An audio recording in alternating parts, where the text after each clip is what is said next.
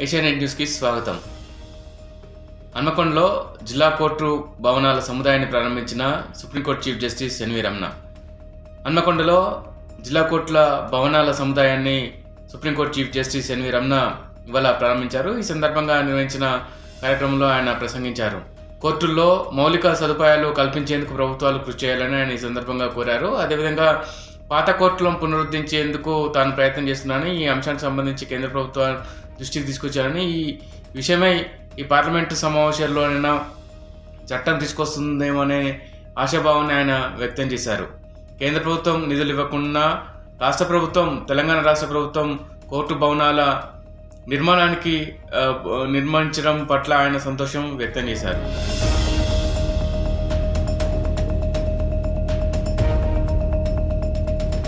సత్తుపల్లిలో విషాదం. కొడుకును ఖననం చేసిన చోటే తండ్రి ఆత్మహత్య. ఉమ్మడి ఖమ్మం జిల్లాలోని సత్తుపల్లిలో విషాదం చోటు చేసుకుంది. సత్తుపల్లి చెందిన రాంబాబు అనే వ్యక్తి తన కుటుంబంతో కలిసి ఖమ్మంలో నివాసం ఉంటున్నాడు. రాంబాబు కొడుకు సాయి పదవ తరగతి చై- చదువుతున్నాడు. ఖమ్మంలోని ప్రైవేట్ స్కూల్లో ఆయన పదవ తరగతి చదువుతున్నాడు. అయితే పుట్టినరోజు వేడుకల సందర్భంగా సాయి వ్యవహరించిన తీరు పట్ల ప్రైవేట్ స్కూల్ యాజమాన్యం మందలించింది. అతని స్కూల్ నుంచి వారం రోజుల పాటు సస్పెండ్ చేసింది. దీంతో మనోవేదనకు గురైన సాయి పురుగుల మందు తాగి ఆత్మహత్యాయత్నానికి ప్రయత్నించాడు. పద్నాలుగో తేదీన ఆయన ఆత్మహత్యాయత్నానికి ప్రయత్నించాడు. ఆసుపత్రిలో చికిత్స పొందుతూ ఈ నెల పదహారో తేదీన సాయి మరణించాడు. అయితే కొడుకు మరణించడంతో మనోవేదనకు గురైన సాయి తండ్రి రాంబాబు నిన్న కొడుకును ఖననం చేసిన చోటే చెట్టుకు ఊరేసుకొని ఆత్మహత్యకు పాల్పడ్డాడు.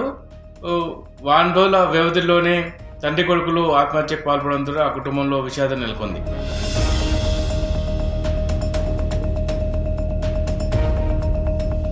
స్వర్ణముఖి నదిలో నలుగురు గల్లంతు ఒకరిని కాపాడిన స్థానికులు. స్వర్ణముఖి నదిలో నలుగురు గల్లంతయ్యారు. అయితే గల్లంతైన విషయాన్ని గుర్తించిన స్థానికులు ఒకరిని కాపాడారు. మరో ముగ్గురు కోసం గాలింపు చర్యలు చేపట్టారు. ఆదివారం కావడంతో నలుగురు చే- స్వర్ణముఖి నదిలో చేపలు పట్టేందుకు వెళ్ళారు అయితే ఈ చేపలు పట్టే క్రమంలో ప్రమాదవశాత్తు నదిలో పడిపోయారు. అయితే ఈ విషయాన్ని గమనించిన అక్కడే ఉన్న కొంతమంది స్థానికులు ఒకరిని వెంటనే కాపాడారు. మరో ముగ్గురు నదిలో కొట్టుకుపోయారు. కొట్టుకుపోయిన ముగ్గురు కోసం గాలింపు చర్యలు చేపట్టారు. మొత్తంగా ఈ నలుగురు చేపలు పట్టేందుకు వెళ్ళినట్టుగా స్థానికులు చెబుతున్నారు. అయితే పో- ఈ విషయానికి సంబంధించి పోలీసులకు సమాచారం అందడంతో రెస్క్యూ సిబ్బంది అక్కడికి వెళ్ళి సహాయక చర్యలు చేపట్టాయి.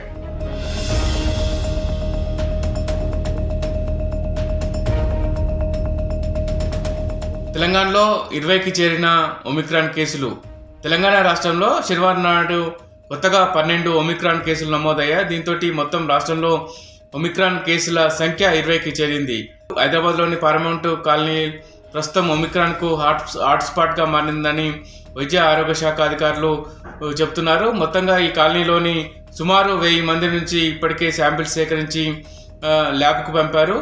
తెలంగాణ రాష్ట్రంలో ఈ ఒమిక్రాన్ కేసుల సంఖ్య వ్యాప్తి చెందకుండా ఉండేందుకు అన్ని జాగ్రత్తలు తీసుకుంటున్నట్టుగా తెలంగాణ వైద్య ఆరోగ్య శాఖ అధికారులు చెప్తున్నారు. అయితే ఈ వైరస్ వ్యాప్తి చెందకుండా ప్రజలంతా కూడా స్వీయ రక్షణ చర్యలు తీసుకోవాలని కూడా వైద్య ఆరోగ్య శాఖ అధికారులు కోరుతున్నారు.